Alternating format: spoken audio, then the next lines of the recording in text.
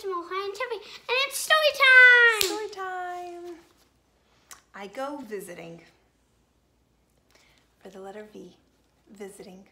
Now we're not visiting anybody in the quarantine, but hopefully soon we'll be able to go visiting.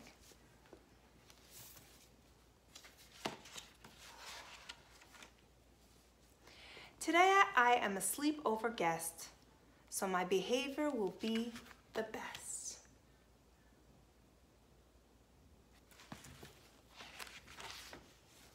I'm excited and happy too.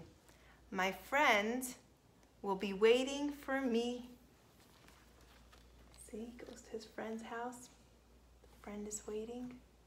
He's so excited. Come on in. So many books and games to share. We take turns because it is fair. So many books and toys to share. Look at them sharing so nicely. We play together with all the toys. If someone is sleeping, we don't make noise. Shh. Right, maybe the baby's sleeping. We have to be very quiet. Being a guest is so much fun. I remember to clean up when I'm done. That's right, we always have to clean up after.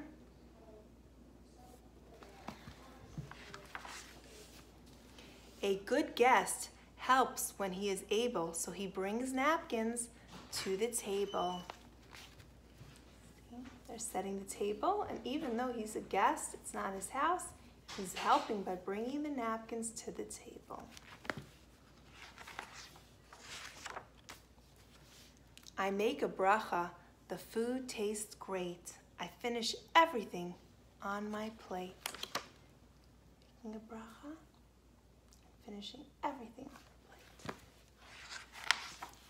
You don't have to. Thank you so. everything. You don't have to finish everything. I do tell that to Tuvi. You don't have to. If you're full, if you feel like your belly's full, then you don't have to finish everything.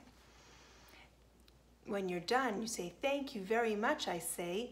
Being polite is the nicest way. See, when she stands up, she brings her plate to the sink and throws out any garbage on the table.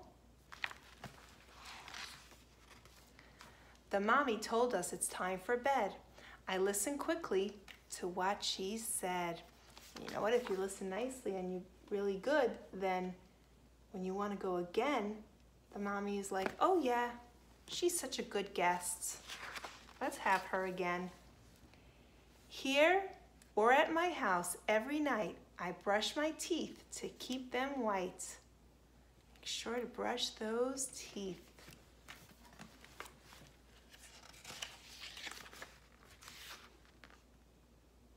in the morning and at night. I put my pajamas without a peep, say Shema, and go to sleep. She puts on her pajamas and says Shema and goes to sleep.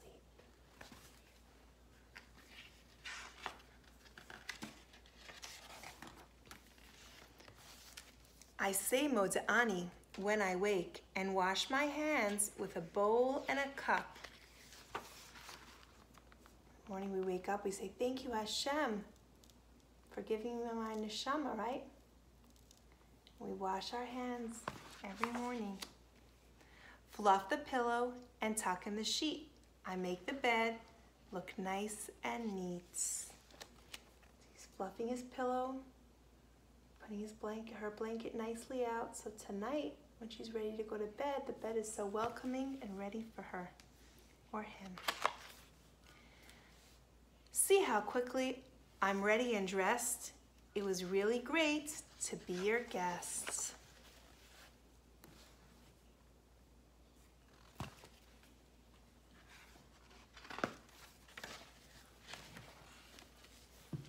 I pack up my things and remember to say, what do you think he's remembering to say? Thank you. Thank you. Thank you for having me. So he packs up his things. And then he mem- remembers to say goodbye and thank you for having me stay.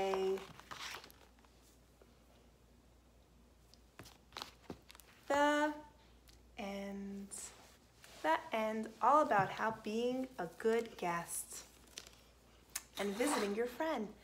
Thanks for watching. Thanks for watching. See you next time. Next time.